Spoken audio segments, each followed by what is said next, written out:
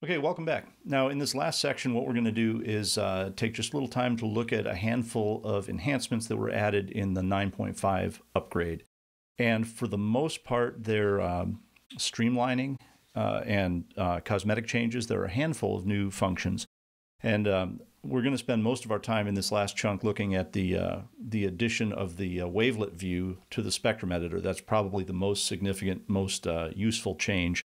Uh, and then we'll walk through the upgrades to the uh, restore rig. They've, well, they've, they've added the, res- the restoration tools into uh, a dedicated suite like Master Rig called Restore Rig. We'll walk through that. Um, we'll look at the uh, tweaks that they've made to the um, to the various plugins and so forth. The uh, fact that they've put all of the Spectrum editing tools into a, um, a dedicated window instead of the um, the, the, floating uh, tool windows that we've had previously. Uh, and then a couple of kind of gee whiz things. There's visual watermarking for your waveforms for copyright protection and so forth. Um, you can also uh, do an audio watermark. So if you're doing like a loop library and that sort of thing, you can, or demos of your material, you can you can put a, a repeating tone or repeating uh, copyright in there so that they don't just get snagged.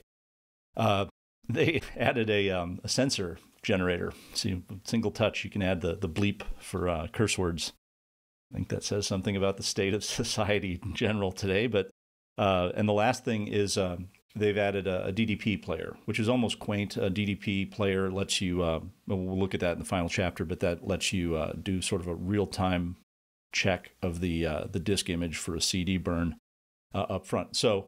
Uh, those are the, the biggest changes. We're going to get into each of those one by one and get you all caught up to 9.5.